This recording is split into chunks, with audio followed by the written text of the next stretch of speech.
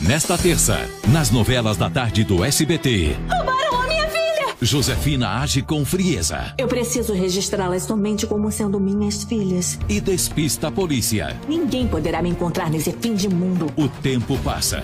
E o ódio. Não sabe como eu me envergonho de você. Pode botar tudo a perder. Se eu fosse uma estranha, pensaria que ela não é sua filha. Nesta terça, 6 e 15 da tarde, segundo capítulo de Quando Me Apaixono.